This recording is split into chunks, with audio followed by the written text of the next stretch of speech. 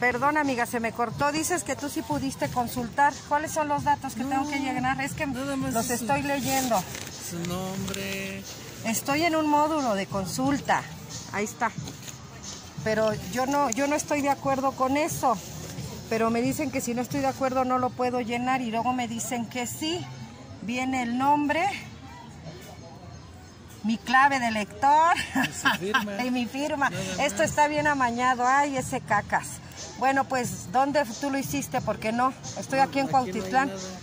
y no, entonces no, mira, No hasta está con folio y todo el asunto, pero entonces ¿cómo van a saber si el pueblo dice sí o el pueblo dice no? La cuarta no es del INE, ahí dice módulo de la 4T. Firma aquí con tu credencial de lector. Aquí se ¿Y dónde está Léale. este documento pertenece Léale, al INE? El INE está haciendo estas encuestas, entonces esa lona no es de esto. Sí. Sí, entonces Pues, eh, me dice usted que es del INE.